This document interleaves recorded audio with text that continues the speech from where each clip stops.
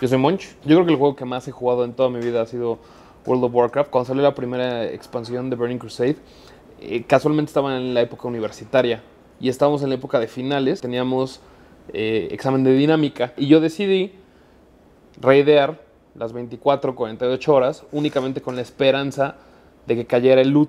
Mi mentalidad fue muy sencilla. El loot puede caer solo una vez, la materia se puede repetir el siguiente semestre. Lamentablemente reprobé esa materia, pero valió total y completamente la pena.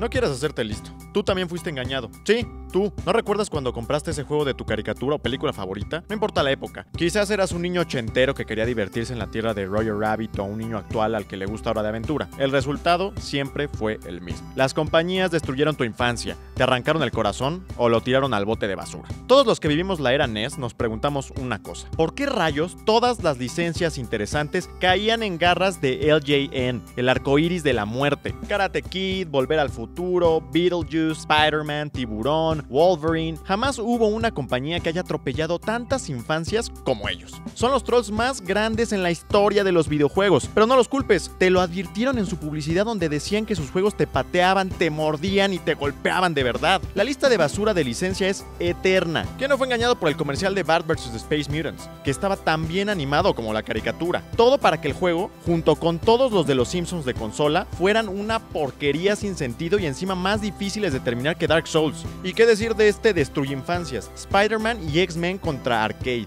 Maldito juego donde los enemigos no se morían, donde Storm se ahogaba como una rata, donde las garras de Wolverine parecían hechas de papel, una porquería de principio a fin. Y ya ni hablemos de Superman 64, una basofia de la que todo mundo se ha burlado en incontables ocasiones. ¿Sabías que todavía había más escenas después del inicio que nadie pasaba? Y en el final, que nadie ha visto, te dicen, por fin saliste de esta pesadilla. No es broma.